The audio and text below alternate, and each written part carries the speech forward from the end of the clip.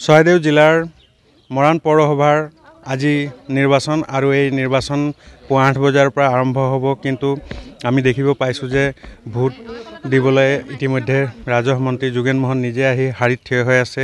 যিহেতু এতিয়াও আধা ঘণ্টা সময় বাকী আছে আমি পোনে পোনে তেওঁৰ প্ৰতিক্ৰিয়াটো জানিব বিচাৰিম। কি ক'ব? এতিয়াও আপুনি ভোট দিবলৈ ওলাই আহিছে কিন্তু হোৱা নাই। সময়ৰ আগতে আহিব লাগে। মই নিজেই আধা ঘণ্টা আগতে আহি শাৰী পাতি ৰৈ আছোঁ। এইটো এটা নিয়ম।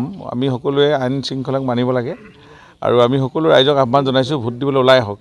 আৰু ভোট ক'ত দিব ৰাইজে থিৰাং কৰিছেই অলৰেডি আৰু আমি ভাবোঁ এইবাৰ মৰাণ পৌৰসভাখনৰ উন্নয়নৰ স্বাৰ্থত মৰাণবাসী ৰাইজে মৰাণ পৌৰসভাখন ভাৰতীয় জনতা পাৰ্টীৰ বা শাসক গোষ্ঠীৰ হাতত অৰ্পণ কৰিব। আৰু এই কথা স্পষ্ট হৈছে। মাত্ৰ আজি ওলাই আহি সকলোৱে দহুবন কাটি কৰি এই দিনটোত অন্ততঃ ভোট সাব্যস্ত কৰিব লাগে। এইটো হ'ল এটা গণতান্ত্ৰিক অধিকাৰ।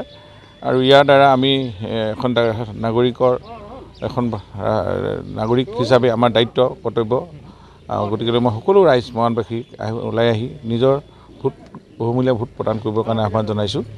আৰু আমি যি সংকল্প লৈ আগবাঢ়িছোঁ আমি ভাবোঁ ভাৰতীয় জনতা পাৰ্টী সমগ্ৰ অসমতেই বিজয় নিচান উৰুৱাব।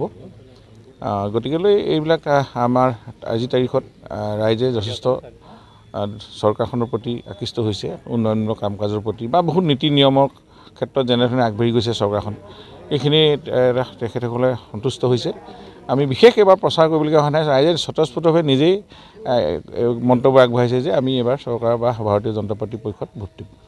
এই মুহূৰ্তত মই ধন্যবাদ জনাইছোঁ। এয়া আছিল ৰাজহ মন্ত্ৰী যোগেন মোহন। তেওঁ মৰাণ পৌৰসভা এই ছয় নং যিটো আদৰ্শ ভোট গ্ৰহণ কেন্দ্ৰ তেওঁ তাত নিজৰ ভোট দিবলৈ ওলাই আহিছে আৰু আমি এই মৰাণৰ সামগ্ৰিক এই দৃশ্য দ্য নিউজ প্লাছৰ দৰ্শকসকলক দেখুৱাইছোঁ। যিহেতু মৰাণ পৌৰসভাত মুঠ এঘাৰটা ৱাৰ্ড আছে আৰু এঘাৰটা ভোট গ্ৰহণ কেন্দ্ৰ আছে। তা তাতে পাঁচ হাজাৰ চাৰিশ ঊনত্ৰিছজন ভোটদাতা ৰাইজ নিজৰ ভোট সাব্যস্ত কৰিব।